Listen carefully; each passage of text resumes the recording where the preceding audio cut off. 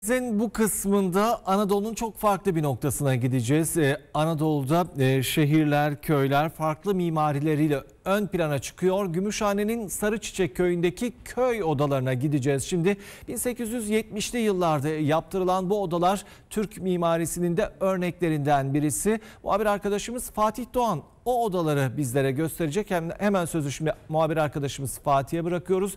Gümüşhane Sarıçiçek köyündeyiz. Gümüşhane merkeze yaklaşık 50 kilometre uzaklıktaki Sarıçiçek köyündeyiz. Bu köyü diğerlerinden özel kılan ayıransa köyde bulunan köy odaları. Yaklaşık 150 yıl önce yapılan iki tane köy odası süslemeleri ve motifleriyle görenleri kendisine hayran bırakıyor. Burada usta ve çırağın birbirine nazire yaparcasına yapmış olduğu köy odalarında hoş sohbetler yapılıyor. Ee, köylüler burada hasbihal ediyorlar. Ee, birbirlerini dinliyorlar.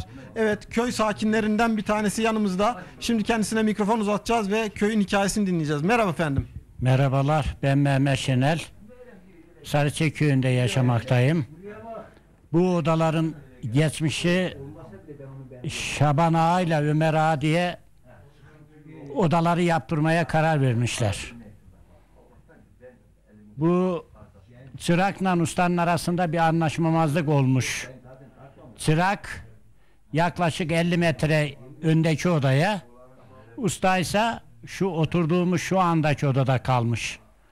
Bunlar birbirlerini görmemek şartıyla e, yiyeceklerini dahi kimse kapıdan almışlar. Hiç biri birinin içiliğinden haberi olmamış. Zaman geçmiş. e, yaklaşık atılış yapılmış odalar. İki yıl sonra. Yaklaşık iki yıl sonra atılış yapılmış. Usta çırağın elini öperek sen benden ustasın demiş. Öyle ayrılmışlar burada. Evet e, sizler de görüyorsunuz ekranlarda e, odalardaki e, işçilik e, kendine hayran bırakıyor. Ceviz ağacı kullanarak yapılmış bu odalar. Odaların e, özelliklerine baktığımızda ise yüklük, e, kahve köşesi, e, dolap e, gibi özellikleri var.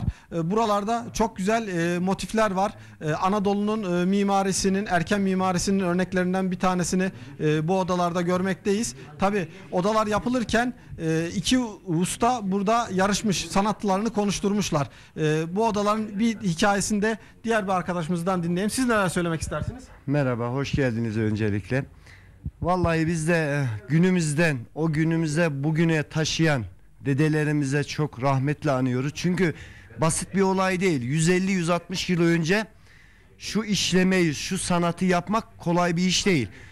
Aynen eh, bizim eh, Kadir abinin de anlattığı gibi usta ile çırak yapımı usta çırağını ayırıyor burada. Geliyor artık diyor sen ustalığını artık göster. Benimle işim bitiyor. Dış işlemesi, dışı yapıldıktan sonra içinin motifleri yapılacağı zaman. Evet usta diyor çırağına ki artık sen benden ayrıl. Bakalım senin de ustalığın oluyor mu? Ayrıldıklarından dolayı usta ile çırak e, buraya hiç kimseyi koymamak şartıyla. Yani e, kapıdan bile kimse girmiyor. Ve nedeni ise yani gidip de e, misali usta şöyle yapıyor diyelim daha güzel yapıyor çırağı demesin diye. 3 yıl yaklaşık 3 yılda hiç kimse girmiyor. 3 yıl sonra bitiyor ve şu güzelim eser ortaya çıkıyor. Tabi yine onları minnetle anıyoruz ve buna da bizim sahip çıkmamız lazım. Bizim önceki dedelerimiz, babalarımız nasıl sahip çıkmışlarsa biz de bundan sonra çocuklarımıza daha da gelecek nesillere bırakmak için elimizden gelen en iyisini yapmamız lazım. Evet, teşekkür ediyoruz. Biz teşekkür ederiz. Ee, Gümüşhane köy odaları, Sarıçiçek köy odaları bir buçuk asrı aşkın süredir ayakta duruyor. Köylüler de odalara gözü gibi bakıyor adeta. Gümüşhane turizminin yükselen değerlerinden bir tanesi Sarıçiçek köy odalarından sözü tekrar stüdyoya bırakıyoruz.